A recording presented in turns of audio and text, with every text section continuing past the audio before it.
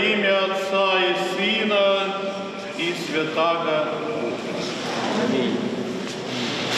Христос говорит, если вы любите тех, которые любят вас, какая вам от этого польза?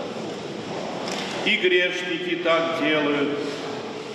Если вы благотворите тем людям, которые благотворят вас, ну какая вам польза?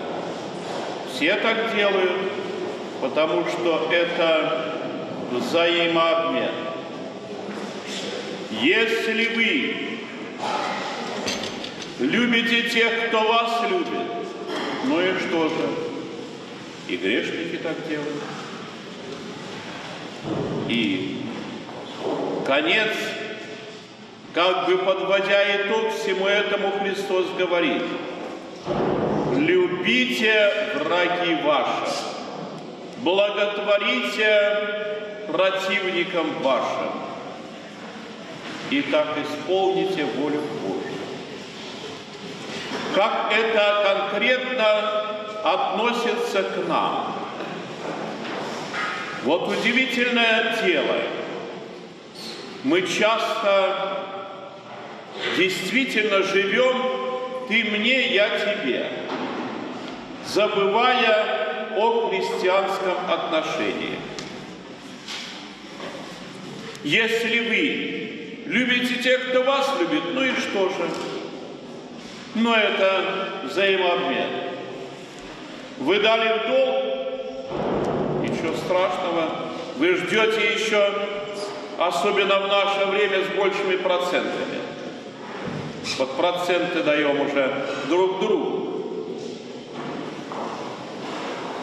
И в жизни также.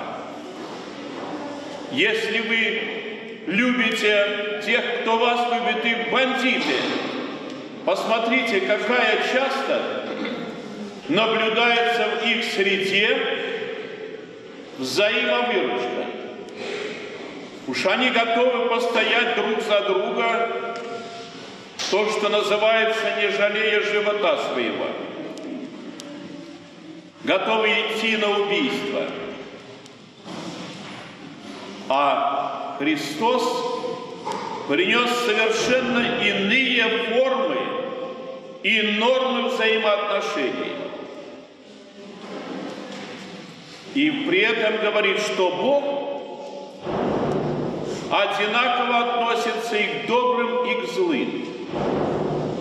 Вот часто в жизни задается вопрос, ну где же ваш Бог? Убивают невинных, расстреливают, грабят. Бог не полицейский. Бог дал нам свободу выбора и свободу воли. И то, что творится в мире, вина не на Боге, а на человеке, как личности единой, так и коллективной. И опять же, когда Господь повелевает любить тех, кто вас не любит, Он приводит пример о том, что смотрите, Бог благотворит и на правых, и на неправых, и на верных, и на неверных. И особенно ярко мы видим это выражено в природе. Не делит Бог людей по секторам. Вот там живет Иван, праведник, ему солнце хорошее, вовремя дождик, а там окаянный грешник, но давай-ка ему поддадим что-то другое не делит Бог. Бог изливает свою милость, свою благодать на всех. С одной только целью ожидая грешников спасти. Нередко во взаимоотношениях людей можно слышать. Мой Бог – это добрые люди. Но вот нередко это добро бывает очень однобоким. Это добро, о котором предупреждал Христос сейчас, в Евангелии. Это добро нередко ты мне, я тебе то, о чем говорил выше. А вот добра по-христиански попробуйте хотя бы внутренне настройтесь относиться к человеку, который делает тебе пакости доброе. Великий труд. Любите ненавидящие вас. А в семье, кажется, супружеская пара, когда женились, они любили друг друга, симпатии друг к другу были. И затем, нередко из гнилых пустяков, кто-то где-то сказал недоброе слово, кто-то, как кажется, поступил не так, как надо было той или иной стороне, и постепенно трещина, разлад и в конечном итоге трагедия.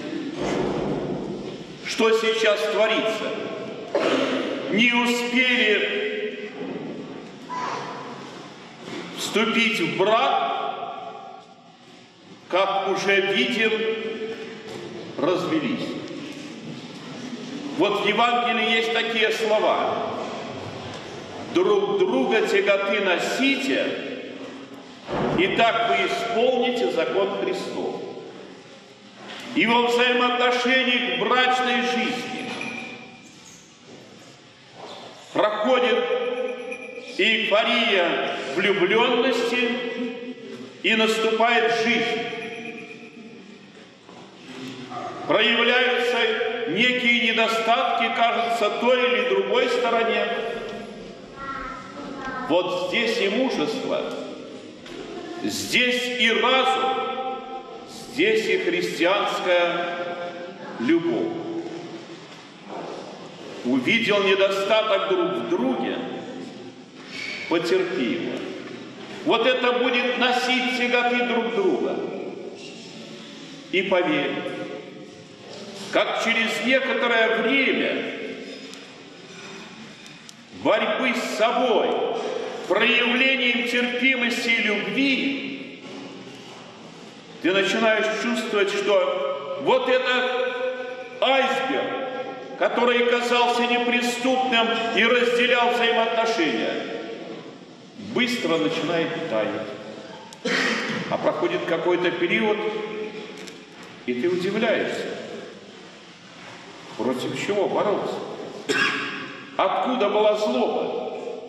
Это же пустое место. А по-христиански это искушение.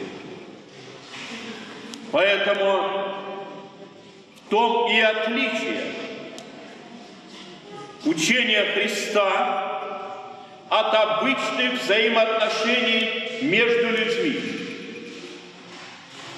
Христос говорит о любви и о прощении. А мир говорит на эгоизме и на торге. Ты мне, я тебе. Бог мыслит по-другому. Не праведники пришел Бог спасти, а грешники. Но если Бог так поступает, а мы в своих взаимоотношениях, с кого должны брать пример? Его заповеди исполнять. А уж если по-честному, когда увидишь чей-то недостаток и кажется несправедливое отношение к тебе, остынь, не горячись, отойди, а потом, придя в себя, в спокойной обстановке, подумай, а вообще ты какой сам по себе? Открывай книгу своего бытия, своей жизни и честно перед своей совестью и перед всевидящим Богом начинай читать, как ты относился к своим родителям, жена к мужу, муж к жене, дети к родителям, родители к детям, на работе. И сравни те пакости, которые, кажется, кто-то тебе делает. А ты всегда ли был честен? И вообще ты перед Богом действительно ли исполнял Его заветы? И, наверное, по совести ты прочтешь в своей книге столь темных пятен, столько неприглядных дел, а уж не говоря о мыслях, которые настолько порочны, что самому стыдно даже и напоминать, что было. И в этом и является проявление христианского терпения друг перед другом. Нам все время говорят сейчас о некой свободе, о демократии, о вершине человеческого разума и достоинства – Пожалуй, ни в какие времена не было столько кровожадности, как в наше время. Молимся за свободу, но к свободе идем через кровь, через разруху, через слезы, через смерть. Где разум? Куда спешить? спешим к пропасти и к погибели. И все начинается из личного человеческого взаимоотношения между конкретными личностями. И если человек не поймет, что главный источник всех бед – это мы, конкретные люди, конкретные личности, и если с этим не будет бороться, то ад начнется в душе лично, ибо ненависть, неприязнь, нелюбовь будет подтачивать и не только душу, но и физически разрушать тело. Наверное, мы все встречали людей, озлобленных, ненавидящих друг друга. И на них лице, на лице написано некая бесовская злоба. Встретишься и становится жутко, ибо там столько ненависти. А иногда наоборот, человек скромный труженик – такими чистыми, ясными глазами, с таким миролюбивым внешним видом, что хочется сказать, живы вы еще, есть на земле праведники, к чему и должны стремиться. り。